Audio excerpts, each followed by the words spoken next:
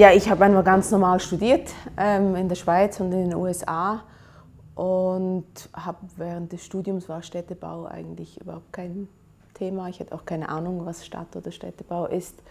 Und dann ähm, ist der Maßstab irgendwann immer größer geworden. Ich habe dann irgendwann bei Kees Christianse angefangen äh, an der ETH. Das war zur Open City Designing Coexistence. Und da haben wir extreme Verstädterungssituationen auf der Welt untersucht, also Refugee Camps, äh, Gated Communities, Slums, Favelas. Und da fing es eigentlich an, sind die Kontakte nach Brasilien zustande gekommen und dann bin ich nach Brasilien gegangen, also nicht ausgewandert, aber ich habe drei Jahre da gelebt, es hätten auch mehr sein können, es waren dann drei, sind es geworden. Ähm, da habe ich bei der Stadt, äh, da sind äh, wie man sagt, nur die Regierungsadministration gearbeitet ähm, als Stadtplanerin, habe da das Städtebauteam aufgebaut im offiziellen Slum Aufwertungsprogramm, würde man wahrscheinlich auf Deutsch äh, sagen. Und die Kontakte zu Lagos sind äh, schon damals in Sao Paulo eigentlich zustande gekommen, weil man ist ja öfters an Konferenzen und, ähm, und da habe ich äh, äh Monika Muna kennengelernt von der Heinrich Böll Stiftung in Frankfurt an einem Kongress der GIZ, das ist ungefähr so die schweizerische DEZA. Und äh, ja, wir haben, glaube ich, nur drei Worte gewechselt. Und ich habe einfach gesagt, du, wenn mal was ist, so, ich würde würd mich wahnsinnig interessieren. Und sie hat sich schneller gemeldet, als man sich das gedacht hätte. Weil äh, mit Makoko, diesem berühmten Slum in, in äh, Lagos, gab es eben Räumungsabsichten, also die bestehen bis heute der Regierung. Das ist insofern leider, muss man sagen, nichts Neues. Ähm, und äh, sie hat dann gemeint, du, vielleicht hast ein paar Ideen, wir, wir machen hier einen Workshop. Es war so eine Hidden Agenda. Ein Workshop bringt man ein paar Leute zusammen, die dann ähm, zu Climate Resilient Building oder irgend sowas ähm, einen Vortrag machen und versucht dann parallel äh, noch was auf die Beine zu stellen, sozusagen. Und parallel eben wurde ich dann eingeladen nach Makoko von der Community, ähm, von CERAC, äh, dieser einen Menschenrechtsorganisation, von meiner Erfahrung in Brasilien eigentlich zu erzählen.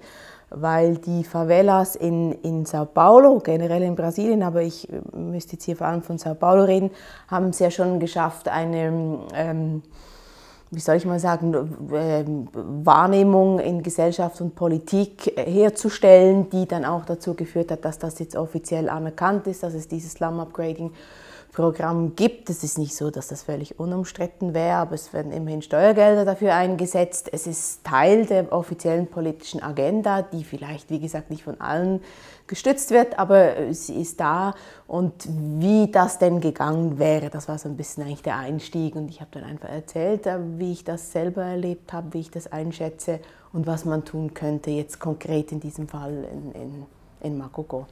Also das, die Zusammensetzung des Büros ändert sich ständig, weil wir haben ein eklatantes Geldproblem natürlich. Also wir verdienen ja überhaupt kein Geld mit unseren Projekten. Also, also ich insbesondere überhaupt nichts, auch keinen Lohn. Und den Mitarbeitenden ähm, zahle ich Löhne. Die sind vielleicht nicht so ähm, kompetitiv, weil wir so äh, de facto eine NGO sind, obwohl offiziell nicht. Also wir sind eine normale Firma weil mein Ziel schon immer noch ist, dass man dieses Business auch, äh, also mit Slums auch durchaus äh, auf einer profitablen Ebene arbeiten könnte, insofern, dass man normale Löhne bezahlen könnte, davon leben könnte, weil es eigentlich so sein müsste. Wenn man mal in diesem Kontext gearbeitet hat von sehr, sehr großen Städten mit sehr, sehr großen ähm, Herausforderungen, wie man heute sagt, ähm, dann, glaube ich, will man irgendwann einfach nicht mehr zurück. Das ist so, ähm, ich weiß nicht, das ist wie wenn man mal vielleicht durch die Wüste gefahren ist und nachher muss man hier wieder Autobahn A1 fahren. Äh, dann denkt man so, ja, why not? Aber es, es, es, es, es fehlt so die Unwägbarkeit, es fehlt ähm, die extreme Herausforderung, es ist alles jederzeit am Scheitern bei uns, also jederzeit, äh, immer. Das ist, äh, das ist wirklich äh, extrem unwägbar alles. Und dann natürlich die großen Städte wie wir ja alle wissen, äh, äh, dass wir eben in diesem urbanen Zeitalter leben und Afrika natürlich vor einer äh, Urbanisierung steht, die noch gar nicht so richtig angefangen hat. Also Lagos natürlich schon. Lagos äh, ist von einem Dorf in diese Millionenstadt gewachsen, hat aber immer noch dieses äh, Gesicht teilweise eines Dorfes. Das ist sehr reizvoll an den afrikanischen Städten, so auch in Lagos, nicht überall, aber das findet man schon noch, dieses grün durchwachsene, diese niedrige Baudichte, schon sehr dicht von der Bevölkerung her, aber niedrige Bau, äh, Bebauungsdichte, äh, wie man sagen würde. Und dieser Mix aus, ähm, ich weiß auch nicht, aus, aus Stress, Herausforderung, ähm, zu glauben, dass man an etwas extrem Relevanten dran ist, ich glaube, das macht schon, ähm, ja, nicht süchtig, das klingt ein bisschen dramatisch, aber das ist schon etwas, was einem dann so reinnimmt und dann will man das auch einfach. Ähm, und ich glaube, das ist das, was mich antreibt.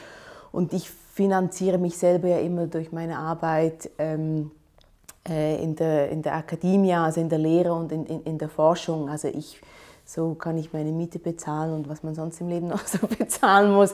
Und dann geht das irgendwie, aber das ist klar, das ist einfach die, die, die Leidenschaft, das Interesse, die, ja, also monetär war da noch nie was zu holen und ich denke, irgendwann wird vielleicht auch das Geld in solche Städte und Länder fließen, aber ich glaube, dieser Moment ist noch sehr, sehr weit weg, weil Nigeria ein Land ist, das... Ähm, aus unserer Sicht, äh, aber vielleicht auch objektiv, wenn es so etwas gibt, äh, eine problematische Rechtsstaatlichkeit hat, nämlich eigentlich keine. Äh, aus unserer Sicht oder aus Investorensicht, das heißt in Nigeria Geld zu investieren, ist jetzt, ja, selbst als Vollblutunternehmerin, glaube ich, würde man das... Äh, sind schwierige Entscheide, weil morgen alles anders sein kann. Die Regierung ist weg, der Naira ist nur noch die Hälfte wert, man kriegt das Geld nicht mehr raus, die Steuern sind plötzlich doppelt so hoch oder gar nicht mehr erlaubt, ausländisches Kapital. Es kann alles passieren, oder?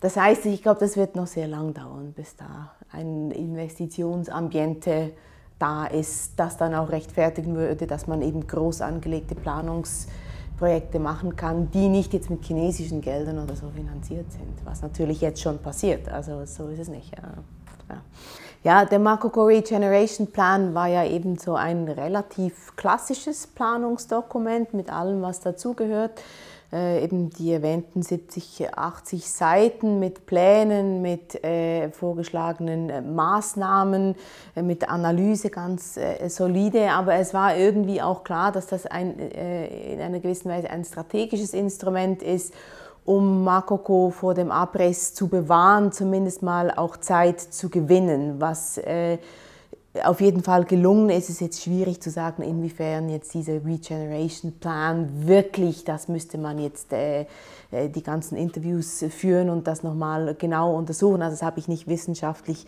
untersucht, inwiefern das jetzt dazu äh, beigetragen hat. Fakt ist, Makoko gibt es immer noch, aber es gibt neue Gerüchte aktuell gerade wieder, dass die Regierung äh, also die Gerüchte sind alt und neu und man weiß nie so genau, was kommt jetzt und, und, und was nicht. Wie gesagt, der Regeneration Plan war eben das Wichtigste eigentlich, Makoko zu erhalten und gleichzeitig aufzuwerten. Nun, äh, mit kein Geld und, kein, und es gab nie Geld in dem Sinn, einen äh, Masterplan auf dieser Maßstabsebene umzusetzen, das ist ja schon bei uns schwierig. Wie soll es denn da gehen? Und deswegen haben wir so eine ähm, Urban Design Toolbox entwickelt, eben Teil dieses Regeneration Plan ist. Und innerhalb der Toolbox gab es eben diesen äh, Marco Neighborhood Hotspot und wir haben das von Anfang an so konzipiert, dass wir einerseits eben an diesem Plan mitarbeiten, dann die Toolbox haben und dann den Hotspot. Äh, mit der Idee, alles gleichzeitig zu pushen und den Hotspot auch genug ähm, äh, ikonenhaft oder äh, architektonisch eben äh, äh, auszuarbeiten, um dann etwas Konkretes zu haben, für, womit man dann Geld eben reinholen kann. Also das war von Anfang an die Idee, dass wir eben diesen Hotspot bauen und der Hotspot war ja nie eigentlich ein Projekt, sondern eher ein, ein, ein Konzept. Und wir sind immer sehr stark von der Idee des Betriebs äh, ausgegangen. Also wie kann man das Ding bewirtschaften. Wir haben immer von diesem Ende her gedacht. Das heißt, äh, deswegen ging es ohne die, also das wäre gar nicht gegangen ohne die, die Menschen vor Ort. Also wir haben uns sehr konkret überlegt und mit den Leuten zusammengearbeitet, wie kann man das nachher betreiben, wer macht eigentlich was. Das Ding war nur, dass die Kooperative äh, zu diesem Zeitpunkt sehr abstrakt war, weil es diesen Hotspot noch nicht gab. Also es war alles so ein bisschen, es war ein bisschen viel und der, also der, der Bau des Hotspots war schon extrem anspruchsvoll, weil Makoko aus äh, vielen verschiedenen ähm, Stämmen und, und Familien äh, besteht. Das ist äh, das afrikanische Governance-System, wenn man so will. Das ist Stämme und Familien. Und das heißt, äh, da gibt es einen Chief Ballet und dann gibt es einen Nebenballet und dann gibt es den Sohn des Ballets. Und, und Makoko ist diesbezüglich sehr, sehr komplex, weil es äh, irgendwie sieben Stammesführer gibt und dann noch einen Chef und die verstehen sich aber eigentlich nie so richtig. Es gibt immer einen, der dann ausschert, der dagegen ist. Ist hochkomplex, ist auch sehr interessant, aber macht es natürlich schwierig. Und obwohl der Hotspot mini ist, ist ja ein Witz eigentlich, wie, ein, also wie eine eine, eine Nadel, ein Stecknadelkopf äh, im, im Heuhaufen sozusagen, wollten wir, dass alle immer dabei sind. Und das hat es wahnsinnig anspruchsvoll gemacht. Also wir haben dann das Projekt gehabt, dann haben wir das immer wieder besprochen, immer wieder adaptiert. Dann hatten wir das Geld, dann haben wir gemerkt, das Geld reicht nicht. Das heißt, der Hotspot wurde kleiner. Ähm, dann ähm, haben wir gemerkt, der Boden ist zu soft, wir brauchen einen anderen Bauplatz und alleine diesen Bauplatz zu finden, oder, das äh, hatte die Community selber organisiert, da haben wir gar nicht mitgeredet. Das ging Monate, weil wir wollten, dass man erstens von Wasser kommen kann mit den Booten, dass man vom Land kommen kann, dass es eben nicht jetzt nur einem Balle zugeordnet ist, sondern so ein bisschen, dass alle, das, das ist wahnsinnig anspruchsvoll und auch für sie war es, glaube ich, wahnsinnig anstrengend. Das haben sie auch gesagt, dass sie dieses Reden, sich verständigen da über so ein Ding und die Kooperative war ja dann wieder dasselbe, weil die Kooperative ist ja registriert jetzt in Ikecha, äh, also bei Lagos State Government offiziell. Wir haben dieses Zertifikat, die Mitglieder haben ein Training gemacht, das wurde von der Böll Stiftung finanziert, also die haben jetzt gelernt, was ein, äh, ein, ein äh, ähm, Kassenmann äh, zu tun hat, der Präsident. Äh, wir haben eine einzige Frau in diesem siebenköpfigen äh, Komitee, jeder hat seine Funktion. Die wurden gewählt, haben dieses Training unterlaufen, dann gab es die Zeremonie. Ähm, das äh, wollten wir alles am Anfang schon haben, aber das ging halt nicht, weil erst musste der Hotspot da sein und jetzt ist der Hotspot da, jetzt gibt es die Kooperative, dann haben wir die Businesspläne gemacht und äh, ich habe dann eben gesagt, ich will nicht anfangen mit Biogas und Solar und Toiletten ohne Businesspläne, weil sobald ein bisschen Geld reinkommt, geht der Streit wieder los. Deswegen brauchen wir erst die Kooperative, um die Businesspläne zu machen, weil irgendjemand muss es dann bewirtschaften. Das steht jetzt auch in den Bylaws der Kooperative, dass eben die Kooperative diese Menschen anstellen muss, die dann die Toiletten bewirtschaften und dass diese Person so und so viel verdienen kann oder muss und dass so und so viel es kostet, wenn man die Toilette benutzt. Also das ist heute schon so in Makoko, dass man bezahlt für Infrastruktur. Ganz wenig, aber man, bezahlt. Also wir haben natürlich auch Zeit gebraucht, um diese Vorgänge zu verstehen, um zu verstehen, mit wem können wir arbeiten. Wir haben auch zwischendurch versucht, Leute zu aktivieren. Das wurde aber nicht gewünscht von den Ballets. Also da wurden wir auch zurückgepfiffen. Das ist so läuft das nicht. Wir entscheiden. Ich dachte, ja, okay, gut, dann entscheidet ihr halt, oder? So und das geht ewig hin und her und dann haben sie Streit unter sich und dann muss man sich wieder zurückhalten, müssen sie das erst so, äh, muss sich wieder beruhigen und dann kommt der nächste Schritt, oder? Aber es gibt diese Kooperative und die heißt auch Makoko Neighborhood Hotspot Cooperative. Also das, es gibt das Zertifikat. Äh, und das haben wir jetzt eben bei dem deutschen Generalkonsulat auch eingereicht und dann haben wir das Geld bekommen, um jetzt das Biogas äh, zu installieren sozusagen. Also das, aber ohne das äh, hätte ich es nicht getan, mit der Idee, diese Kooperative aufzusetzen. Weil wie gesagt, einen Bau hinzustellen, das können sie vielleicht, ja, vielleicht nicht besser, aber sie können es auch selber. Ähm, ich glaube schon, dass man da nochmal Innovation reinbringen kann, etwas verbessern kann, stabiler bauen kann und so weiter und so fort. Aber der Betrieb ist das ganz große Ding. Und es ist eben ganz wichtig, alle strategischen Ebenen äh, zusammenzubinden, damit jeder irgendwas hat, damit das dann eben äh, multipliziert werden kann oder diesen Effekt eben hat auf ganz vielen verschiedenen Ebenen, auf der politischen Ebene, auf der e Versorgungsebene ganz banal. Es sollte die Menschen auch irgendwie stolz machen, dass sie Freude haben, jetzt haben wir etwas, können wir benutzen. Sie müssen es dann aber auch benutzen äh, und so weiter und so fort. Und das ist so ein bisschen das, was mich interessiert und woran ich sehr, sehr glaube angesichts der Herausforderung, dass wir in, in Westafrika eine un, unfassbar große Menge an diesen unterversorgten Siedlungen haben und, und in Westafrika Urbanisierung eigentlich Informalisierung bedeutet. Also die, die, die, die Slums wachsen praktisch ähm, äh, gleichzeitig wie die Städte wachsen. Also das, das, das sind Herausforderungen, die man äh, schwer begreifen kann. Und der Urbanisierungsprozess ist deswegen eben auch durch die Armut angetrieben und nicht durch Economic Opportunities. Das war zum Beispiel in Südamerika war das so, das war in Europa so, das war in den USA so, in Westafrika nicht. Also die Städte wachsen, obwohl es gar keinen Grund gibt zu wachsen, um das ein bisschen plump auszudrücken. Ich meine, was macht man dann? Ich meine, äh, da braucht es einfach äh, Lösungsansätze, die man schnell implementieren kann, die man gut implementieren kann. Ähm, und, und das sind so diese strategischen Projekte, die mich einfach sehr interessieren. Also das ist auch ein Luxusmoment, dass man Forschung betreiben kann.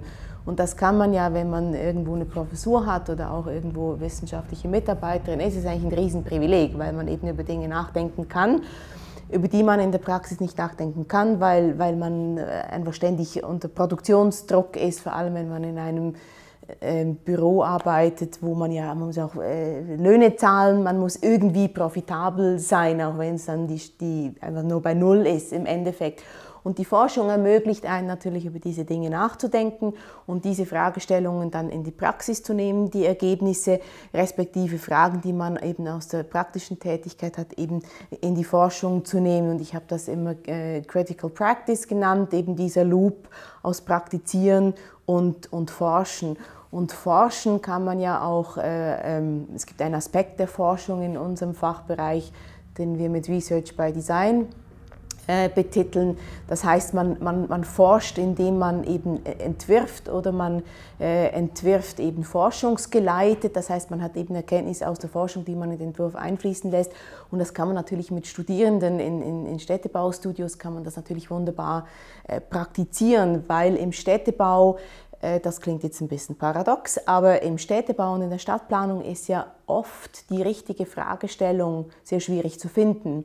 Es ist vielleicht klar, dass etwas nicht funktioniert oder dass etwas anders sein müsste, aber die richtige Frage zu stellen, um da die richtige Antwort zu produzieren, ist, ist sehr, sehr schwierig.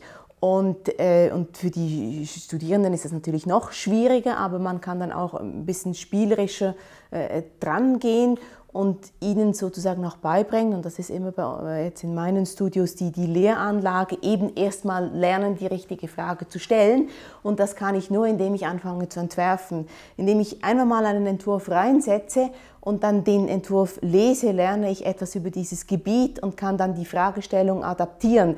Das heißt, es geht äh, nicht so sehr darum, jetzt den idealen Entwurf zu finden, sondern eigentlich den Entwurf als einen weiteren Schritt in diesem Research by Design zu begreifen. Das ist für die Studis auch ein bisschen schwierig manchmal, weil wir ja lernen als Architekten, dass es da meine geniale Idee ist, die ich da äh, gezeichnet habe und das ist dann die Idee und, und im Städtebau ist es mehr dieser suchende Prozess, zumindest diese Art von Städtebau, den ich vertrete. Und, und das kann man natürlich mit Studis hervorragend machen, auch weil das dann, ähm, äh, keine Ahnung, was Teams sind von vier, fünf Leuten, die dann an drei verschiedenen Szenarios zum selben Gebiet arbeiten. Das sind nochmal wie so Forschungsthemen äh, in sich. Das machen wir auch jetzt gerade aktuell so. Auch um herauszufinden, was, was wird es dann ein anderer Städtebau? Das läuft jetzt gerade, kann ich jetzt noch nicht sagen. Äh, aber das, glaube ich, ist sehr, sehr produktiv so zu arbeiten und es ist aber ein großer Luxus. Also bilde ich mir nichts ein. Ich glaube, man kann, also man soll dankbar sein, wenn das möglich ist und ich bin sehr froh, dass ich das so, so tun kann. Ja. Also, als ich aus Brasilien zurückgekommen bin, äh, Ende 2012 war das, habe ich recht lange gebraucht, um die Schweiz wieder zu verstehen. Obwohl ich ja hier aufgewachsen bin, ähm, ich habe die Probleme in diesem Land nicht mehr verstanden. Ich habe auch, ich habe wirklich nicht, äh, äh, sehr lange gebraucht, um die Linse wieder scharf zu stellen. Ich bin ja in, in Aarau, einem sehr, einer sehr kleinen Stadt, groß geworden und als ich zurückkam oder während der Besuche aus Sao Paulo war Zürich und Aarau, das war für mich dasselbe. Ich habe den Unterschied ganz im Ernst, ich habe ihn nicht gesehen. Ich habe ihn nicht gespürt und ich habe ihn nicht gesehen.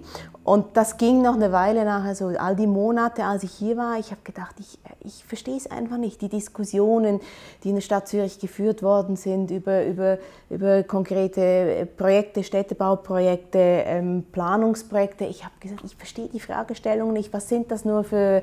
So, das heißt, äh, jetzt ist die Linse wieder äh, schärfer geworden oder, oder fein geästelter. Ich weiß nicht genau, was das richtige Bild ist, aber mir kam so ein bisschen vor, dass ich nicht scharf gesehen habe. Mittlerweile sehe ich das jetzt ähm, wieder, aber es wird einem natürlich sehr, sehr bewusst, dass wir, äh, das ist eh klar, aber es wird einem einfach sehr schmerzlich auch bewusst, äh, würde ich sagen, dass wir äh, absolut in einem äh, Luxus leben, der unvorstellbar ist. Dieser Luxus ist dermaßen unvorstellbar, dass ich es oft selber nicht ganz begreife. Ja, ich denke schon, dass es in Lagos, dass ich da, glaube ich, länger jetzt aktiv sein werde, wobei man weiß es nie. Es kann sein, dass die politische Situation sich dermaßen verhärtet, was leider nicht auszuschließen ist, dass man sagen muss, man kann im Moment in den Slums nicht arbeiten, weil die alle akut äh, vom Abriss bedroht sind, dass, man, dass es nicht sich lohnt, auf dieser Ebene zu arbeiten, sondern dass man auf der Menschenrechtsebene arbeiten muss, was ja dann andere Leute auch tun. Da bin ich dann nicht die Richtige, wir arbeiten zusammen, aber es ist nicht mein Gebiet dann äh, müsste man das mal unterbrechen, aber grundsätzlich auf jeden Fall. Also ich habe auch äh, Forschung, PhD-Forschung selber in Lagos, also auf jeden Fall ist das ein langfristiges Thema.